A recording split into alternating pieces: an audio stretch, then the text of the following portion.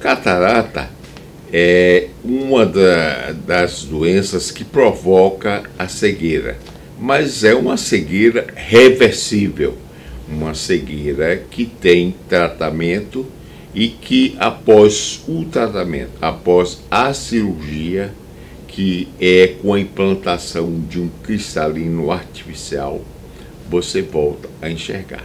A catarata é a opacificação do cristalino, que é uma lente que fica dentro do olho.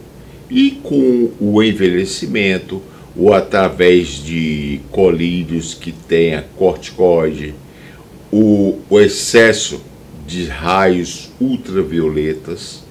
Então a catarata é a retirada do cristalino e a colocação de um implante do cristalino, que as pessoas voltam a enxergar tranquilamente.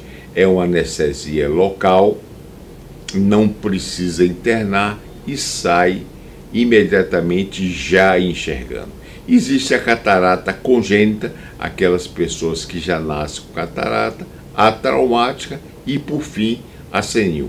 Mas procure o seu oftalmologista para que realmente indique a cirurgia da catarata.